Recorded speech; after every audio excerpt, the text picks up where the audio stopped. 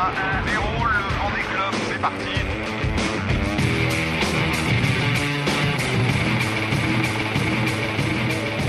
« 24 heures sur 24, on se bagarre,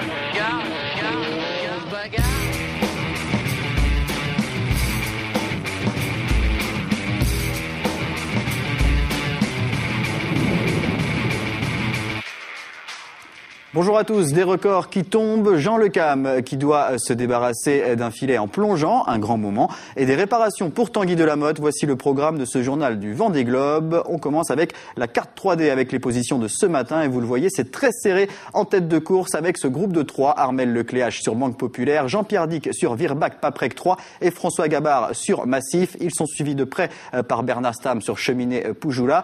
Tour à tour, Jean-Pierre Dick, Bernard Stam, François Gabard et Alex Thompson ont battu le record de distance parcourue sur 24 heures.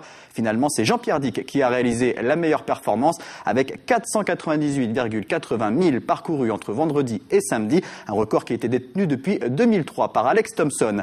Armel Lecléache, quant à lui, a été le premier à franchir la longitude du cap de Bonne-Espérance. C'était ce matin à 11h48. Il améliore donc le temps de référence entre les Sables d'Olonne et Bonne-Espérance en 22 jours, 23 heures et 48 minutes. Le record était détenu depuis 2004 par Vincent Rioux en un peu plus de 24 jours et 2 heures. Armel Lecléache est donc toujours en tête du classement, mais il est toujours suivi de près par Jean-Pierre Dick et François Gabard qui naviguent plus au sud et qui pour l'instant avancent beaucoup moins vite qu'Armel Lecléache.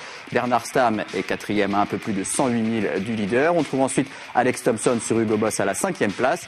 Un peu plus loin, toujours le groupe de trois composé de Mike Golding, Jean Le Cam et Dominique Vavre. Javier Samso 9e, Arnaud Boissière 10e. Et aux trois dernières places, on trouve Tanguy Delamotte 11e, Bertrand de Broc 12e et Alessandro Di Benedetto qui ferme la marche à la 13e place. On revient sur la tête de la course et cette bagarre entre trois skippers. Après avoir connu les grandes vitesses dans des conditions plutôt agréables, les conditions deviennent de plus en plus difficiles pour Armel Lecléache, Jean-Pierre Dick et François Gabard. On les écoute tous les trois.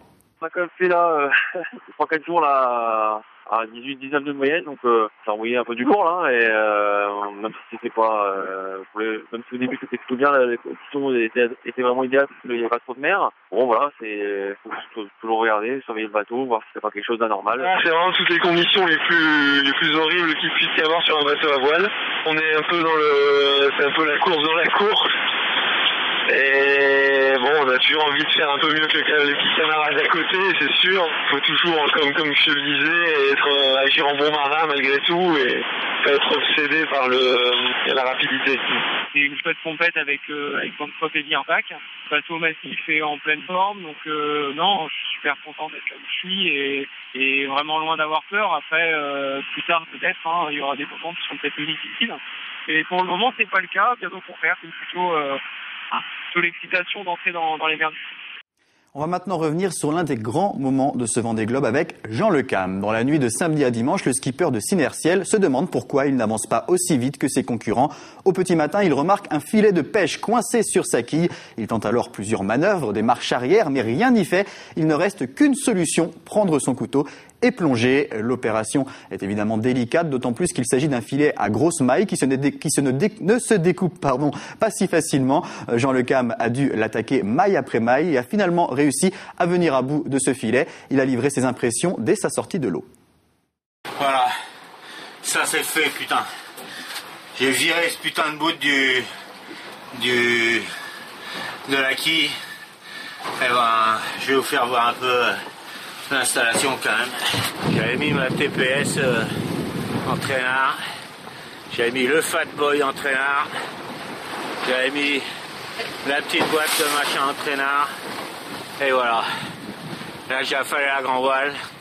Là je prends 5 minutes pour vous le raconter parce que ça, ça il faut le dire quoi. Putain c'est, euh, copieux quoi. Là c'est euh, ouf. Voilà mon équipement la bouteille avec des rabans. Voilà. Et ben, et ben voilà, encore euh, une nouvelle aventure. Et après cette opération assez incroyable, Jean Le Cam s'est remis devant la caméra pour partager ce moment. Beaucoup d'émotions pour le roi Jean. Vous allez le voir, il en a les larmes à l'œil. C'est toujours pareil, quoi.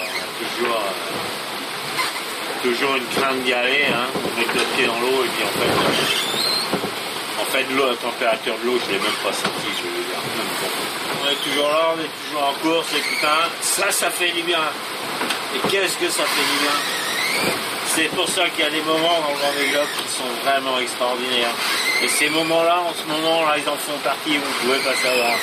Opération périlleuse également pour Tanguy Delamotte. Samedi, il a dû effectuer une réparation sur son hydrogénérateur. Il s'est donc suspendu à l'arrière du bateau. Le skipper d'Initiative Cœur est également euh, monté dans le mât pour quelques rafistolages, euh, mais aussi pour faire euh, plusieurs vérifications avant d'entrer dans les mers du Sud. Il s'est donc retrouvé, retrouvé à près de 30 mètres de hauteur. On se quitte comme promis avec Tanguy Delamotte dans une séquence de gymnastique tonique. Je vous retrouve demain pour un nouveau journal. Très bonne soirée à tous.